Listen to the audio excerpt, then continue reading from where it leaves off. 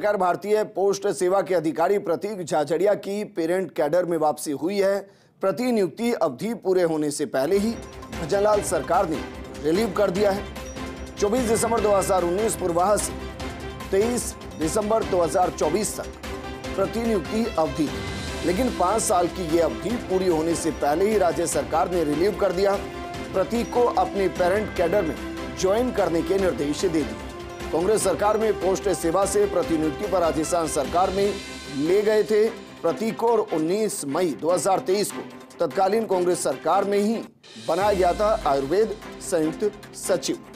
मेरे सहयोगी और डॉक्टर ऋतुराज जुड़ गए डॉक्टर ऋतुराज, जरा बताइए, इसके पीछे की बड़ी वजह क्या है और इस परिवर्तन को आप कैसे देखते हैं?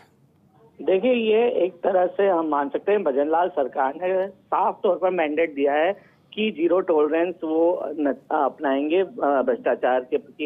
इससे पूर्व में अगर हम बात करें तो नीरज के पवन जो आई हैं, उनके खिलाफ जो अभियोजन स्वीकृति दी गई है, वो भी इसी सरकार में हाल ही में दी गई है।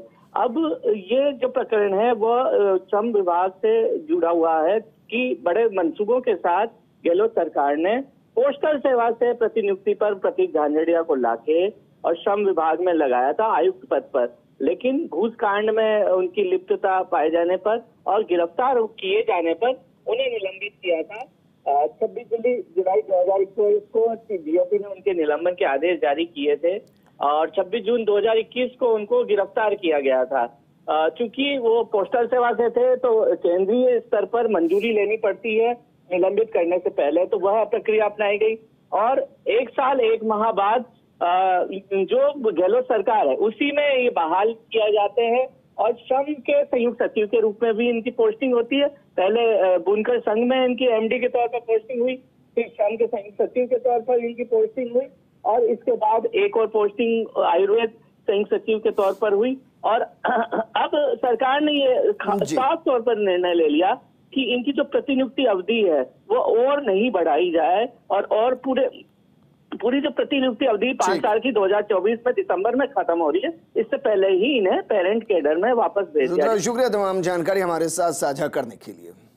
हर खबर सबसे पहले पहुंचेगी आप तक। चाहे ब्रेकिंग न्यूज़ हो या हर वो खबर जो रखती है आपसे राबता अपने मोबाइल पर डाउनलोड करिए फ़र्स्ट इंडिया ऐप आप हमसे सोशल मीडिया प्लेटफॉर्म पर भी जुड़ सकते हैं। ट्विटर और फेसबुक पर कीजिए हमें फॉलो यूट्यूब पर भी अपने पसंदीदा कार्यक्रमों का मज़ा। हमारी वेबसाइट पर करिए विज़िट और जानिए वो तमाम खबरें जो आपको रखती हैं सबसे पहले, सबसे आगे। First India news digital platform पर भी फ़र्स्ट